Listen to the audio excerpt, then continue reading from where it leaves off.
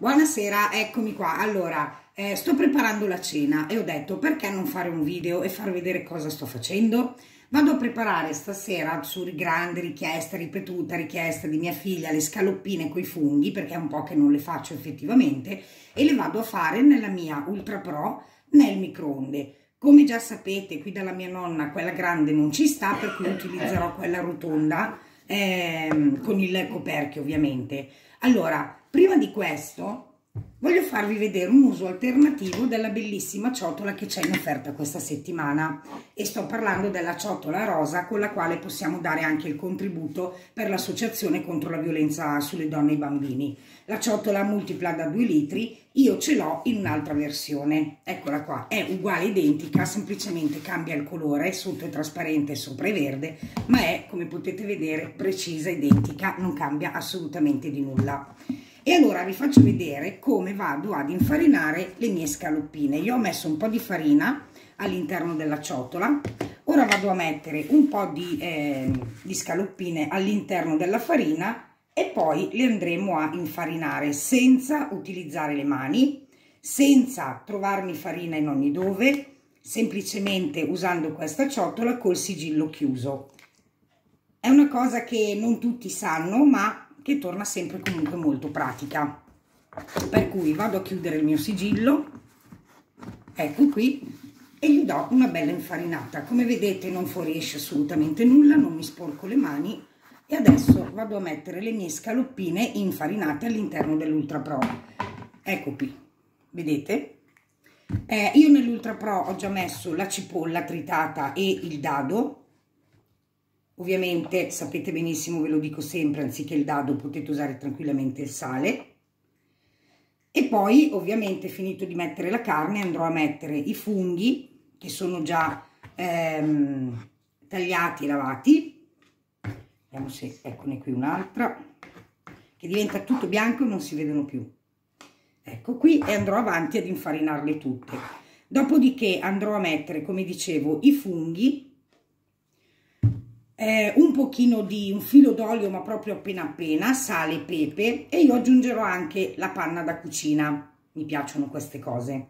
Dopodiché la farò cuocere a 750 watt per 20 minuti perché comunque questa carne è molto sottile, eh, i funghi sono tagliati sottili per cui non hanno bisogno di chissà che tempi di cottura, si fanno veramente eh, abbastanza velocemente. Ecco qua, adesso finisco di fare le mie eh, scaloppine all'interno dell'Ultra Pro, poi ovviamente prima di mettere a cuocere darò una bella girata col cucchiaio di modo da amalgamare bene tutti gli ingredienti insieme. Ecco qui, come vedete non sto facendo assolutamente fatica, non sto sporcando assolutamente nulla, se non il eh, gemello dove avevo riposto la mia carne, eccola qui, ho quasi finito, ecco qui, vedete che è veramente facile, pratico e veloce. Quindi mi raccomando non fatevi scappare questa bellissima ciotola perché oltre a questo potete farci tantissime altre cose, ma soprattutto potete dare veramente un grande aiuto all'associazione WeWorld eh, per la campagna Empowerment Woman, femminile, scusate l'ho detto in inglese, per aiutare appunto eh, le donne e i bambini che, sono, che subiscono violenze di ogni genere ecco qui ah, le ultime e poi ho finito. Un. come vedete anche la carne non la prendo con le mani ma con la pinza che tutti pensano sia solo una pinza per la pasta lunga e invece come vedete si possono fare tantissime cose. Ecco qui l'ultimo giro. E poi basta veramente pochissimo e non c'è neanche spreco di farina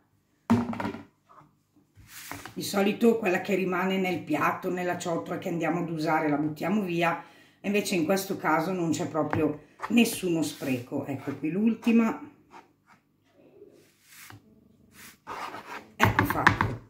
Adesso andiamo ad aggiungere appunto i funghi.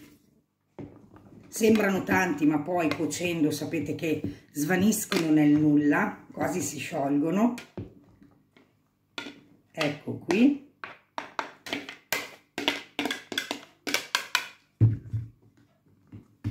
uno è caduto. Ora vado a mettere un pochino di pepe.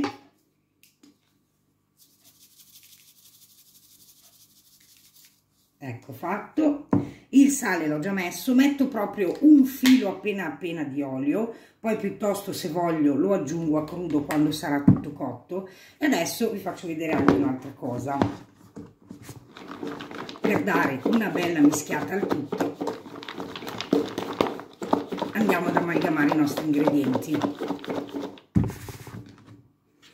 Ecco fatto.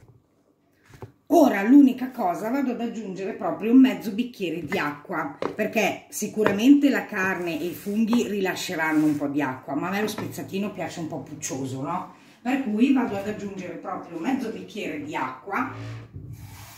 Ecco qui.